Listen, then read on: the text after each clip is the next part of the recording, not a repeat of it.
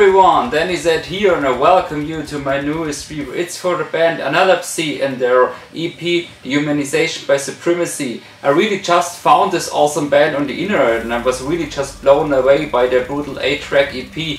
Um, it's 8 tracks on it, uh, first one is an intro of 7 songs and one cover. And this 5-piece band is from um, Lisboa, Portugal and delivers real catchy, groovy, brutal death metal, slammy everything combined and I didn't hear such a cool thing in a, in a, in a while. This is the, for me personally, this is the perfect combination of uh, different brutal death metal styles uh, which I love.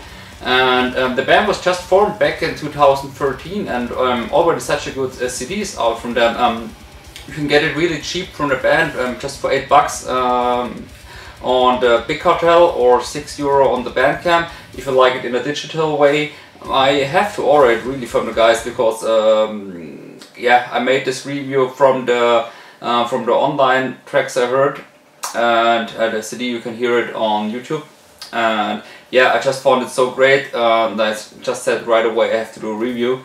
Um, for me their sound is a combination you know, of bands like uh, Putrid Pile, you can really hear that you know, from um, the vocal patterns sometimes and also musical influence is pretty much there. Um, and also the last song is a cover of Putrid Pile. And you know, everything is then mixed with um, Russian um, stuff from Russian slam bands like Cephalic Impurity, Abominable Putridity, you know, bands who can play fast but be catchy and groovy at the same time. Also the catchy riffing um, from bands like Resection uh, who did that on the Zenith album is really influenced for me on that CD, I can hear that. And also Cool Dark Atmosphere is a perfect combination to this masterpiece you know, of downtown brutal slam death metal and you know, also blasty in catchy way.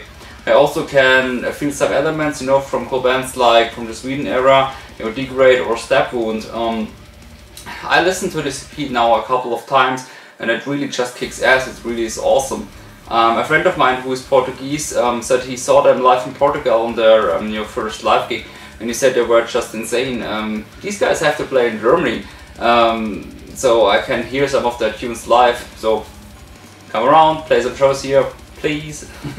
uh, for me, it's definitely a 10 out of 10. Uh, didn't hear around slamming brutal death metal album like that in a while. Really just awesome.